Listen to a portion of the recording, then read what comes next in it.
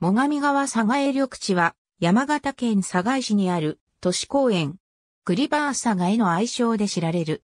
最上川の河川敷に整備され、2013年より供用開始。西上川対岸は中山町であり、佐賀市の南に位置する。多目的水面広場と多目的芝生広場の二つからなる。愛称のグリバーサがエワのグリバーは、グリーンとリバーを組み合わせたものである。国の都市公園整備事業の採択を受け、10年間の事業の末、完成した。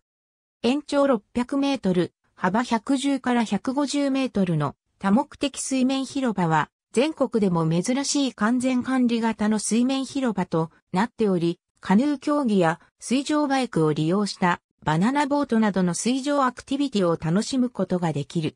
最上川からポンプにより取水をしている。日本カヌー連盟公認カヌースプリント競技場 B 級公認コースとなっている。多目的芝生広場では野球、サッカーなどの球技を行えるほか、ピクニックなどにも利用される。水面広場を中心にイベントも随時開催しており、カフェも構えている。ABCD、グリバーサが A、ハット、最上川200キロを歩く小学校探検リレー、第6週、面白いところ、グリバーサが A。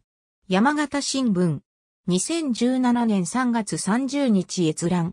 KONDO21.com ハット AB、最上川佐賀江緑地。スポーツキャンプジャパン。2017年3月30日、閲覧。グリバーサガエ。佐賀江市公式サイト。2017年3月30日閲覧。AB、アクセス。グリバーサガエ。2017年3月30日閲覧。ありがとうございます。